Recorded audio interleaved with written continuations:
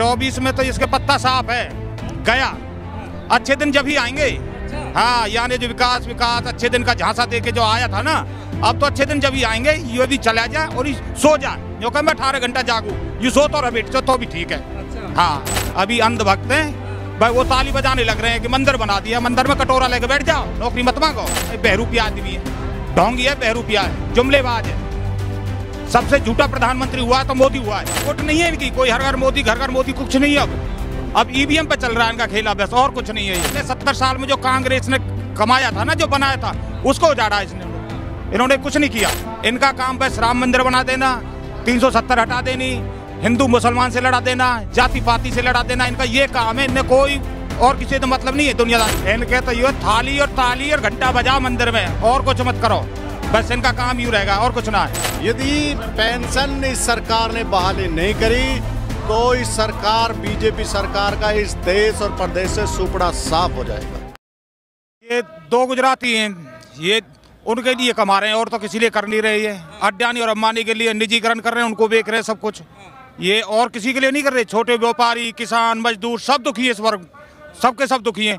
लेकिन मोदी साथ दो ये और दो चोर हुए हैं। भगोड़ा जो दूध देश का पैसा लूट के उनका माफ़ कर देना।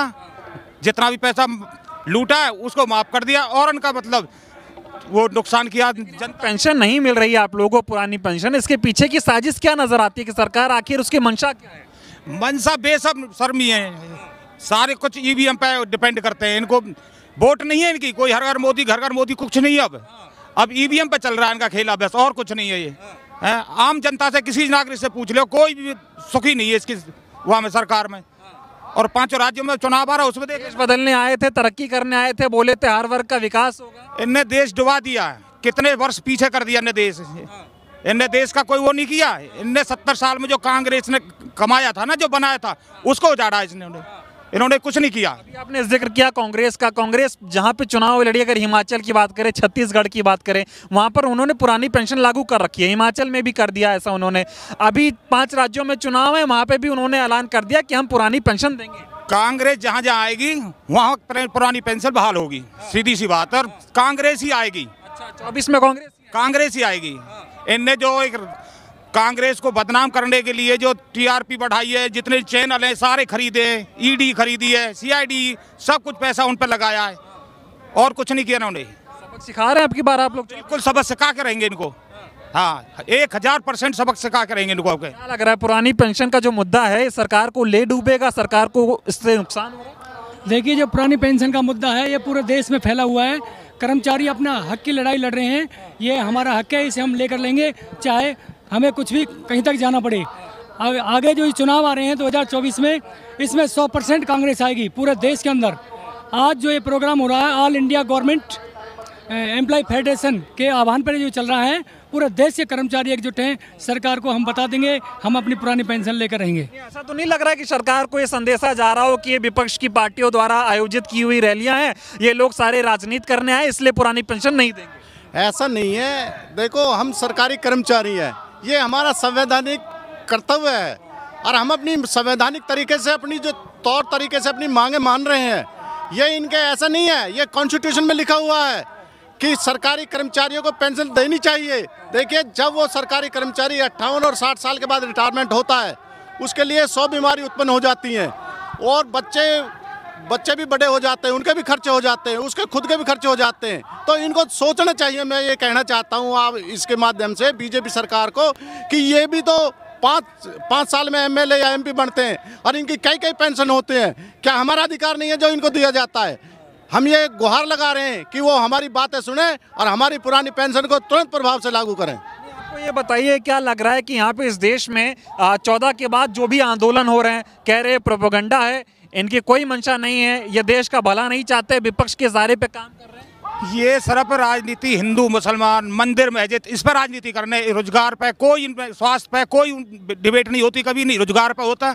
इनका काम बस राम मंदिर बना देना 370 हटा देनी हिंदू मुसलमान से लड़ा देना जाति पाति से लड़ा देना इनका ये काम है इनने कोई और किसी तो मतलब नहीं है दुनियादारी मोदी जी तो राजनीति बदलने आए अरे किसकी राजनीति बदल रहा है बहरूपिया आदमी है। ढोंगी है बहरूपिया है जुमलेबाज है। सबसे झूठा प्रधानमंत्री हुआ तो मोदी हुआ है। अभी तो सब प्राइवेट कर रहे हैं बोले प्राइवेट करने से देश का विकास हो जाएगा। अरे किसका विकास होगा उनका? अड्डानी अंबानी इनका होगा विकास। आम जनता का कोई भी वो नहीं होगा विकास। रेलवे को प्राइवेट करने जा रहे हैं बाकी चीज़ों को कर ही दिया। नहीं छोड़ा ये बताओ ने छोड़ा क्या है? सब कुछ बेकार है उन्होंने। Rail B S N L rail ते लेके जहाज़ ते लेके सब कुछ तो बेकार है। और तो और क्या कहते हैं तुम्हारा ये भी जहाँ तक भाषण देता रहा लाल किला वो भी इसने धर दिया। वो भी गिरवी धर दिया इसने। इसने आने वाले समय में कुछ सरकारी नहीं बचेगा अगर ये सरकार ये तो चाहता ही है। सब निजीकरण हो। ये नहीं चाहता। कोई सरकारी डिपार्टमेंट रहे कोई सरकारी महकमा रहे ये नहीं चाहते। अभी आप लोग पेंशन की मांग कर रहे हैं एक समय आएगा लोग नौकरी की मांग करेंगे। नहीं मैं ये कहना चाहता हूँ कि नौ साल इस सरकार को हो चुके हैं। शायद मैं जिस इनके टाइम में इस देश और प्रदेश के अंदर बेरोजगारी जो बढ़ी है वो पहले कभी नहीं बढ़ी है। देश के अंदर जब बेरोजगारी है तो भुखमरी भी है। ये अपने आप को कहना चाहते हैं कि हमारे देश की आर्थिक स्थिति मज़बूत हुई है। अभी मैंने टाइम्स ऑफ़ इंडिया में पढ़ा था नारायण मूर्ति ने लिखा है यदि देश का नौजवान एक हफ़्ते के अंदर सत्तर घंटे काम करेगा जब इस देश की आर्थिक स्थिति सुधर सकती है। तो कह रहे डंका बज रहा है दुनिया में। का डंका बज रहे हैं। जब ये देखिए बारह घंटे वो सप्ते में काम करेगा दो घंटे आने और दो घंटे के जाने वो कितने घंटे सोएगा हमारा देश का नौजवान? तो इससे क्या होगा? कि हमारे नए नौजवानों की जो स्थिति है वो बॉडी स्ट्रक्चर है वो खराब हो जाएगा। क्योंकि यदि ये ऐसा करना चाहते हैं तो 24 घंटे में छः छः घंटे की शिफ्ट क्यों नहीं बनाते? इस देश की बेरोजगारी खत्म हो जाएगी। अब ऐसा हो रहा है कि मजदूरी करो और अपना हक मत मांगो सरकार से। बस इनके तो ये थाली और ताली और घंटा बजाओ मंदिर में और कुछ मत करो। बस इनका काम यूँ रहेगा और कुछ ना है। क्या मंदिर नाम हुआ आपका? जितेंद्र। क्या लग रहा है पेंशन बहाली को लेकर मांग करने आए आप? लोग सरकार सुनेगी मानेगी? ना मान तो रही ना दस साल तो हो गए जी कहते कहते हमें तो। हाँ। मान नहीं रही सरकार? ना मान रही जी। तो आने वाला कदम अगला क्या होगा? देखेंगे जो बात होगी। देखेंगे। क्या लग रहा है? अभी ऊपर से अभी चल रहे हैं प्रोग्राम जैसे और प्रोग्राम आएँगे ऊपर से उनमें बढ़ चढ़ कर चलेंगे और सरकार के विपोजिट खड़े होंगे क्या करें? लेकिन एक साफ़ संदेश आप लोग दे रहे हैं कि अगर बहाली नहीं हुई तो 24 मुश्किल है। यदि पेंशन इस सरकार ने बहाली नहीं करी तो इस सरकार बीजेपी सरकार का इस देश और प्रदेश से सुपड़ा साफ़ हो जाएगा। यदि इसने पेंशन बहाली नहीं करी क्योंकि साफ़ हो जाएगा। सुपड़ा सुपड़ा साफ़ हो जाएगा। कोई भी कर्मचारी अधिकारी इनकी कोई वोट नहीं देगा क्योंकि उनका भी तो राइट है वोट डालने का। कॉन्स्टिट्यूशन में स्पष्ट लिखा है। हमें तो वो सरकार चाहिए जो जनहित के काम करती हो। मोदी जी कहते हैं तो हैं भाई, जनहित का काम कर रहा हूँ। वो कहते हैं, अठारह घंटे काम कर रहा हूँ। कह रहे, भ्रष्टाचार रोक दिया, महँगाई कम कर दी, देश का विकास हो गया। नौ साल में जो हो गया, पचहत्तर साल में नहीं हुआ था वो दावा करते हैं। मैं ये कहना चाहता हूँ कि सन 1947 और 50 में जब हमारा पुनर्गठन हुआ था इस देश का, जो सरकार, उस टाइम उस सरकार थी, उसने जो स्ट्रक्चर खड़ा किया था, आज वो स्ट्रक्चर जो सरकारी तंत्र है, वो सारा ये मोदी सरकार ने अपने नौ साल के कार्यकाल में वो सारा बेच दिया। हम ये कहना चाहते हैं कि इसकी कोई जागीर नहीं है वो। वो हमारे सभी जागीर है क्योंकि उन्होंने आज़ादी के लिए बहुत लड़ा था। ये क्यों बेच रहा उसको? सब विकास हो रहा है। इससे विकास नहीं होता। आप ये देखिए आपका कोई घर बेच दे तो आप उसको विकास मानते हो? नहीं आप बताइए। माहौल तो ऐसा ही बन रहा है टीवी उवी पे यही दिखाते हैं। कोई दे कोई अपना घर बेच दे। क्या वो विकास का काम है? ये नहीं है। और फिर वो किराए पे कहीं रहे तो ये थोड़ी है। ये है अडानी अम्बानी को जितने सरकारी तंत्र हैं, उनको ये लाभ पहुंचाना चाहता है। इसलिए ये ऐसा प्रतीत हो रहा है और इसलिए ये इस देश को बेच रहा है। केवल दो अडानी अंबानियों को फ़ायदा देना चाहता है। रेल इसने बेच दी, भेल इसने बेच दी, जेल इसने बेच दी, इलेक्ट्रिसिटी डिपार्टमेंट इसने बेच दिया।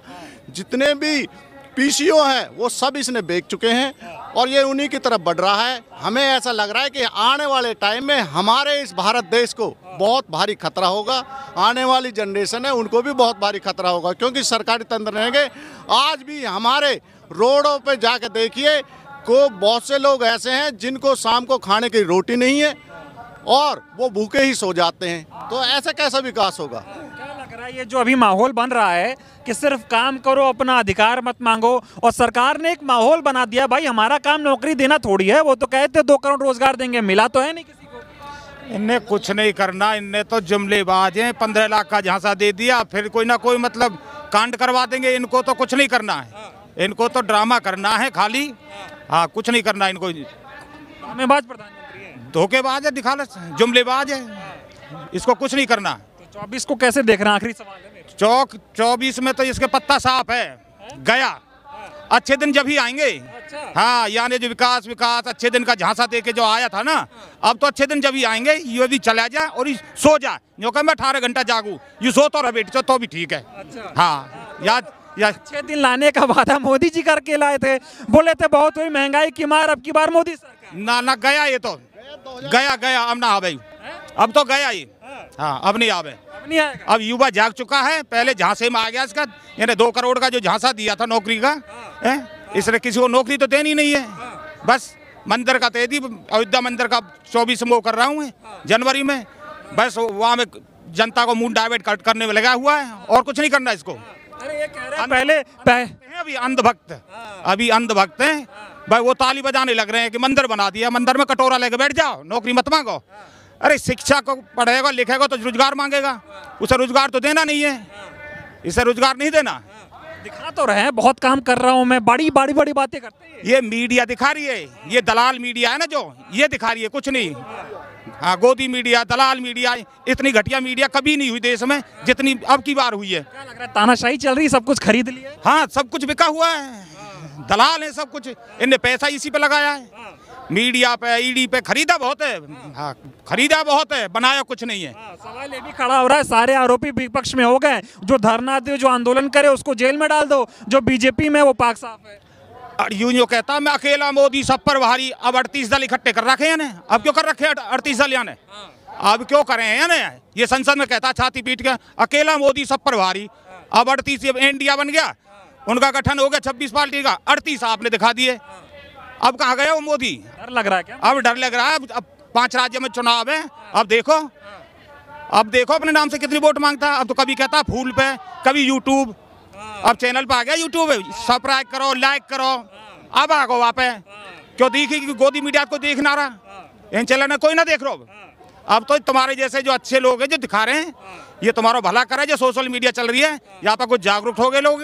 चार साल हो गए टीवी रिचार्ज ना करवाया मैंने। मोदी जी कहते हैं सब कुछ एक तरफा चल रहा है। लोग मोदी को सुबह शाम पानी पी पी के गाली देते हैं। पाँच हज़ार भी लाइक ना मिले या मोदी है यूट्यूब चैनल पे? अब कहा कहवाया जाता कि रहने दे बस। उल्टे दिन आ गए मोदी जी। उल्टे दिन गए हो? गया मोदी। कर्मचारी एकता जिंदाबाद। कर्मचारी एकता जिंदाबाद।